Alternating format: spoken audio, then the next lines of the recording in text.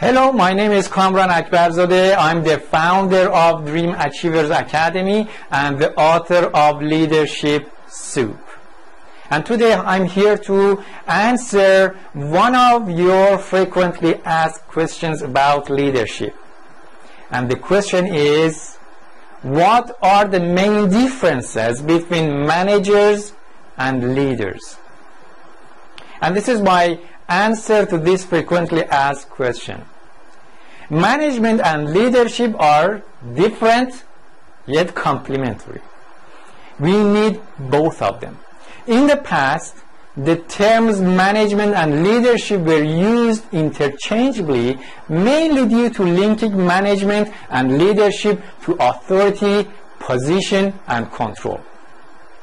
At the end of the 20th, 20th century, possessing leadership skills was considered essential for successful management. In the last decade, leadership got more attention and the distinctions between management and leadership became more apparent. Leadership is now more important for success than management. Leadership is no longer about having authority. In fact, as Kenneth Blanchard noted, the key to successful leadership today is influence, not authority. The true influence comes from living and leading authentically with passion and purpose.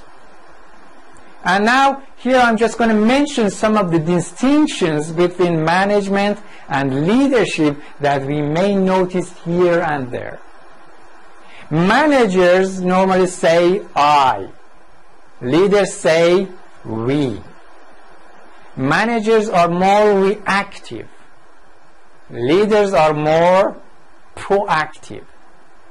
Managers accept what it is. Leaders envision what it could be.